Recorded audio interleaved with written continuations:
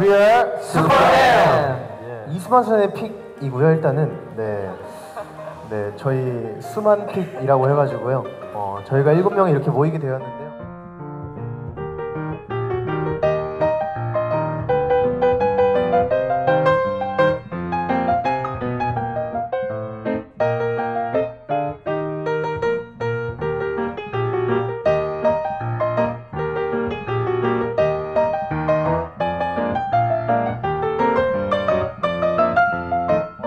모습을 좀 많은 분들에게 보여드리고 어, 시너지가 합쳐져서 슈퍼 파워한 모습을 좀 널리 널리 알리고 싶습니다.